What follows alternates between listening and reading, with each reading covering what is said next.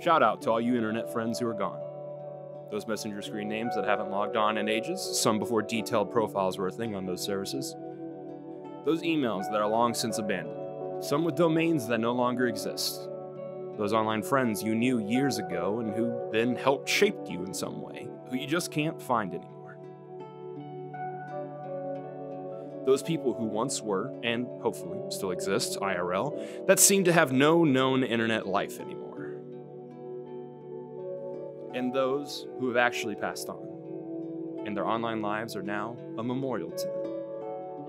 I miss you all. And I hope life is or was kind to you, and maybe one day we'll somehow connect again.